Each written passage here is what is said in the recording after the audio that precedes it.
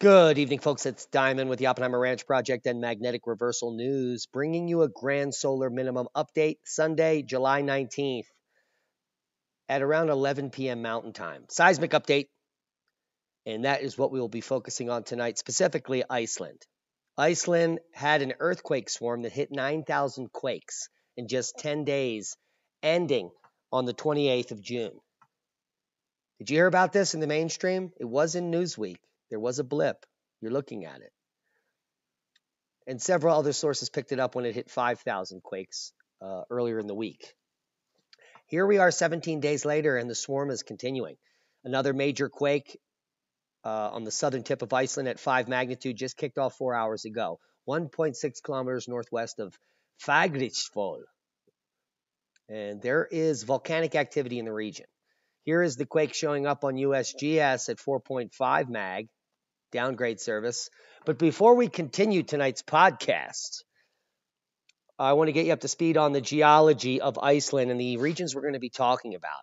These red lines that come through the center of the country here is the Mid Atlantic Ridge. It's a rift zone.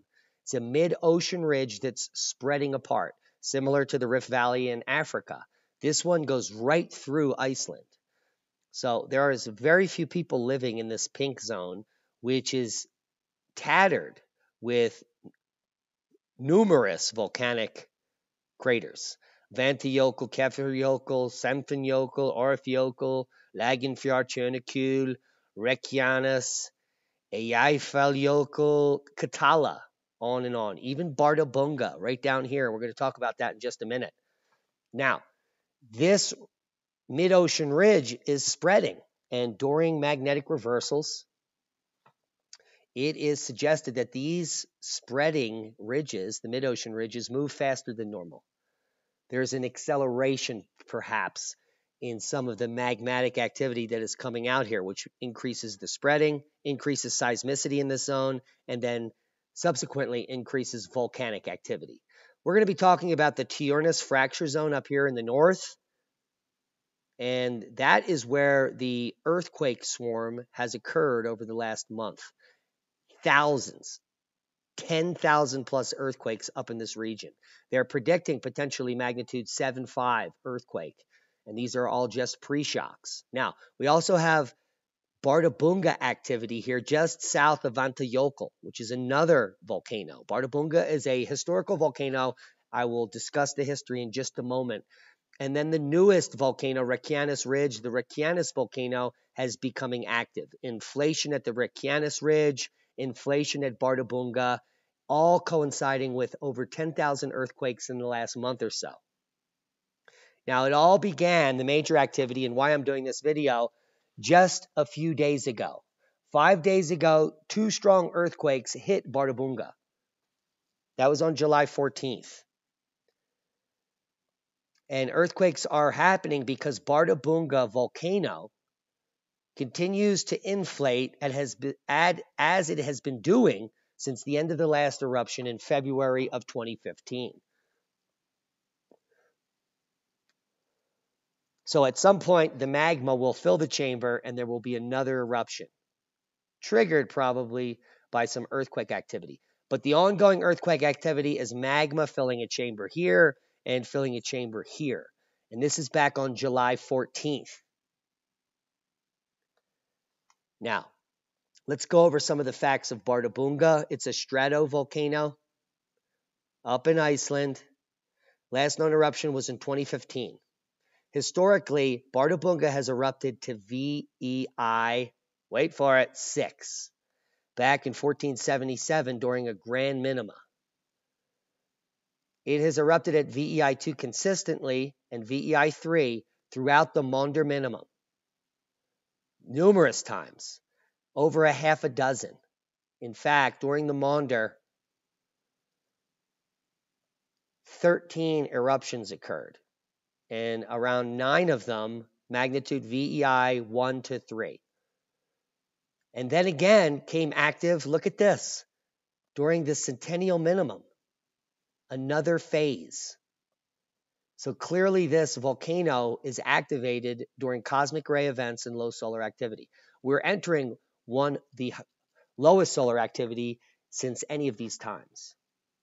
So it is our prediction and has been for three years or longer that Bardarbunga is going to erupt and in a big way. So there's that. Now, yesterday, two strong earthquakes north of Grindavik town, which is where the Reykjanes Ridge is, the far western tip, so, southwestern tip of Iceland, has been active for all year. We've been calling this as another major volcanic event. There was a magnitude 3.2 and a magnitude 4.1 the strongest earthquakes rather shallow, 2.5 kilometers in depth. This is indicative of magma filling a region and the surface crust cracking. So that happened yesterday. And now today, earthquake swarm on the Reykjanes volcano. Take a look at the uptick here. Over the last few hours, there has been an earthquake swarm close to the mountain called Fagradalsfjall, or close to the volcano called Reykjanes. At the writing of this article, no, no earthquake with a magnitude M.2 2.0 have happened. So it's all less than Mag 2, yet a swarm nonetheless. And that is indicative of magma filling in the southern region. So we have magma filling underneath Bardarbunga. We have ma- in the cent- center of Iceland, we have magma filling under a volcano in southwestern Iceland. And that is the Reykjanes volcano, which is primary volcano type is crater rows. These are calderic similar to the uh, rift volcanoes uh, in Africa. And again, this is on the southwestern tip. Now, Reykjanes volcano's last major eruption was back in 1830 during the Dalton minimum. Historic observations, two during the Dalton, and then a Maunder minimum eruption there. Now, this has only been seen, the Reykjanes go up as high as VEI 3 or 4. So we're looking at a VEI 3 or 4 eruption from the Reykjanes Ridge, followed by a VEI 4 to 6 from Bardarbunga. And all the while, the northern Tjörnes fracture zone is going crazy. They have seen over 10,000 earthquakes in the northern Tjörnes fracture zone, northern Iceland, in the last six weeks and we're talking a high number of Mag 3, Mag 4, and Mag 5. And more earthquakes with magnitude M3 or greater can't be ruled out, and there remains a risk of an earthquake with magnitude 7 or greater going to happen in this area. These are prequakes, folks. So there's a major er, uh, uptick in tectonic activity on this mid ocean ridge here at the Reykjanes Ridge, the Reykjanes volcano, here on the ice cap where Bardarbunga is, right here underneath the ice, which would cause massive jökulhlaups, which are epic, the largest floods in on Earth, because these volcanoes erupt under an ice cap, melt huge volumes, an ocean of water, which then gets ejected from the bottom of the sheet here into the ocean. So totally amazing things happening. Up in the Tjörnes fracture zone, we have major 10,000 earthquakes happening over the last six weeks, M7 magnitude or greater in this region is probable. Hope you got something out of the video.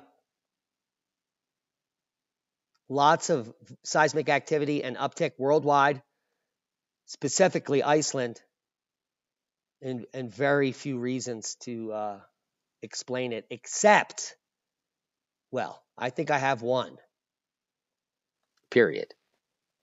Now, what we do know is that the magnetic field since about 1600 has been waning. And at 1850, it really kicked, kicked off into descent. And by 2000, we were losing 5, 10% per decade. And the numbers have been increasing. Take a look 1850, 2000, 2010, 2015. Boom, straight down. Now, therein lies the problem. We're living in a magnetic excursion, potentially a magnetic reversal, which is causing some of the highest cosmic ray counts in modern times, the highest in hundreds of years. In modern times, it's the modern cosmic ray maximum. and the waning magnetosphere will continue. Weather is going to get very unpredictable as the jet streams break down for the rest of your life.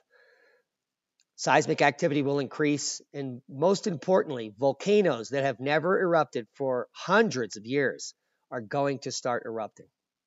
Just like Bardarbunga, just like Reykjanes. So look for an eruption in this tip of Iceland coming soon, an eruption underneath of the ice sheet happening anytime soon, and a large earthquake up in the North Tjörnes fracture zone coming soon to an Iceland near you. Thanks for watching. Subscribe to the channel if you haven't.